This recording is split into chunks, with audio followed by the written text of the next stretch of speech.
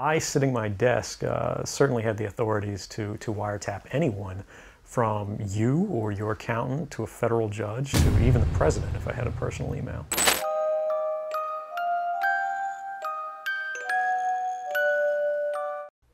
2013년 6월 10일 전직 NSA의 요원이었던 스노드는 가디언과 워싱턴 포스트를 통해 믿기 힘든 사실을 폭로합니다. 미국 국가안보국 NSA가 프리즘이라는 시스템을 이용해 전 세계 일반인들을 대상으로 통화 기록과 인터넷 사용 기록을 감청 수집했다는 건데요. NSA란 1952년에 창설된 미국의 정보기관입니다.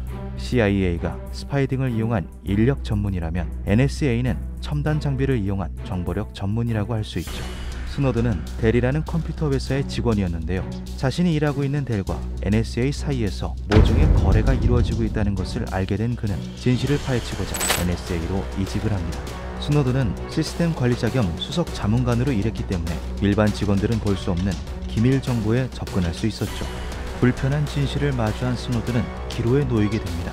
이걸 그냥 묻어둔 채 못 본 척하며 사느냐 아니면 진실을 밝히고 국가와 맞서 싸우느냐 스노든은 갈림길에서 진실을 택합니다. 나는 자리에 앉아서 당신의 이메일을 확인할 수도 있었고 당신 아내의 휴대폰 기록을 볼 수도 있었다. 그의 폭로와 동시에 미국 전역은 발칵 뒤집혔습니다. 정부가 자국민의 사생활을 감시한다는 주장은 오래전부터 쭉 있어왔던 음모론 중의 하나였는데요.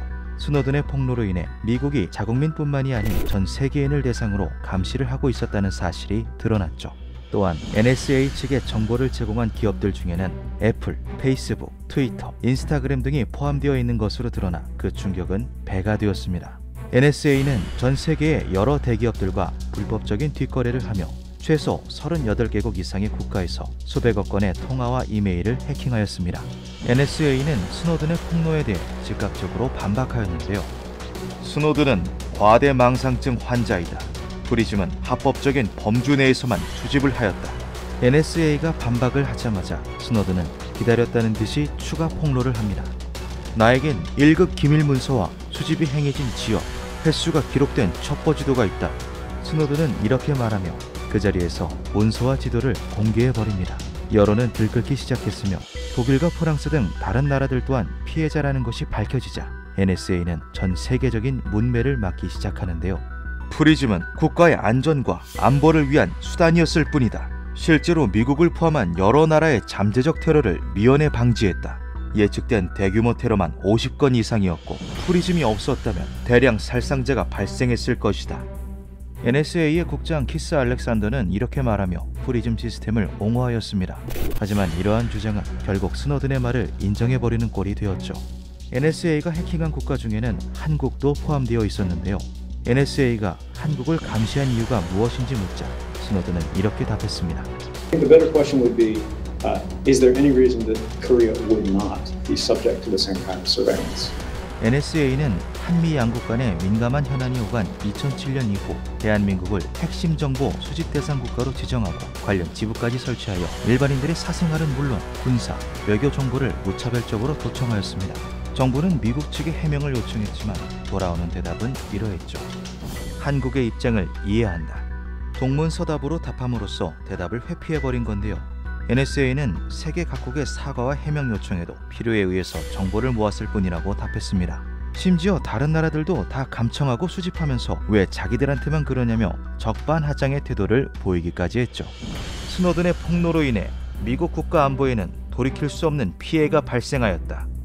NSA는 성명을 발표할 때마다 스노든에게 국가 반역자 프레임을 씌우며 매국노로 몰아가기 바빴습니다.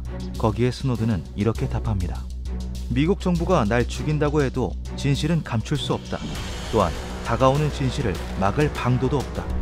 스노든은 다음 해인 2014년 퓰리처상 공공서비스 부문을 수상했습니다. 스노든의 수상에 대해 논란이 일자 선정위원회는 이렇게 말했죠. 모든 국민은 알 권리가 있다. 스노든 게이트라고도 불렸던 이 폭로 사건은 2017년 영화로 만들어지기도 했습니다.